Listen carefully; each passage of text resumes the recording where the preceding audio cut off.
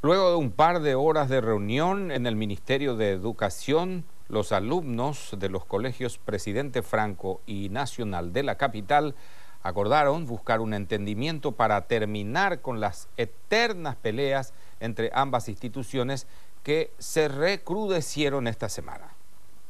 En el acuerdo de entendimiento firmado ante las autoridades educativas, las partes se comprometen a conformar una mesa de diálogo permanente, encarar proyectos de integración de corto y mediano plazo, además de gerenciar programas de protección y seguridad de la comunidad educativa de ambas instituciones. Desde el Colegio Nacional de la capital Bernardino Caballero, indican que los últimos incidentes están motivados por los mismos padres o por algún extraño que pretende aprovecharse de la rivalidad entre ambas instituciones.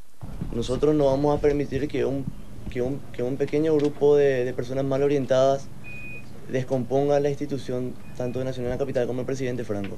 Entonces ya decidimos parar con esto, empezar una nueva historia y a partir de ahora empezar de cero para poder realmente ser instituciones educativas que se ayuden para salir adelante y demostrar el crecimiento de un país mejor. Nosotros ya estamos prácticamente cansados de que estos hechos de violencia por irresponsabilidades de padres o de personas malintencionadas afecta a nuestra institución.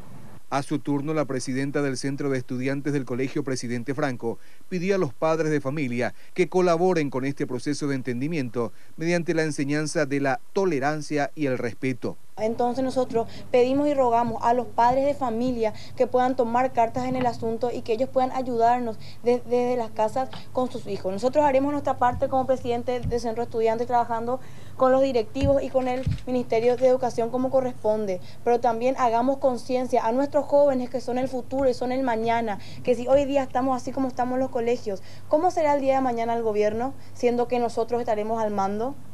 Háganse la pregunta, los padres mismos háganse esa pregunta, tomen conciencia y tomen las riendas de los jóvenes. Para los directivos del Colegio Nacional de la Capital, resulta muy llamativo el incidente del jueves que dejó a unos 15 alumnos del Colegio Presidente Franco intoxicados con gas lacrimógeno.